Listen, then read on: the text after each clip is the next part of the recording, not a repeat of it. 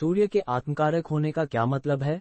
जैसे कि मेरे पास सूर्य आत्मकारक है और शनि दारकारक है, इसलिए मैं अपने भावी जीवन साथी और अपने बारे में जानना चाहता हूँ। वैदिक ज्योतिष में आत्मकारक, आत्मा ग्रह, आपकी आत्मा की यात्रा, उद्देश्य और उन पाठों का प्रतिनिधित्व करता है जिन्हें आप सीखने के लिए यहाँ हैं। सूर्य का आत्मकारक होना ये दर्शाता है कि आत्मविश्वास, नेतृत्व और व्यक्तित्व आपके आध्यात्मिक विकास के लिए केंद्रीय हैं।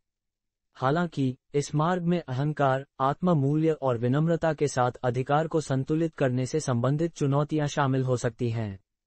अब, शनि के दारकारक जीवन साथी संकेतक होने के कारण, आपके भावी जीवन साथी में शनि के गुण होने की संभावना है।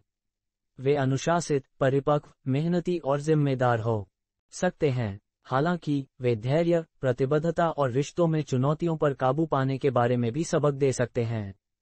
आपकी साझेदारी शुरू में प्रतिबंधात्मक लग सकती है, लेकिन आपसी प्रयास से एक मज़बूत और स्थिर बंधन में विकसित हो सकती है। सूर्य और शनि की गतिशीलता ये सुझाव देती है कि जब आप एक व्यक्ति के रूप में चमकने का लक्ष्य रखते हैं तो आपका जीवन साथी आपको विनम्रता, संरचना और साझा ज़िम्मेदारी का मूल्य सिखा सकता है। आपके सामंजस्यपूर्ण रिश्ते की कुंजी आपकी मुखर ऊर्जा को उनके जमीनी दृष्टिकोण के साथ संतुलित करने में निहित है। क्या आप इस संयोजन से संबंधित हैं?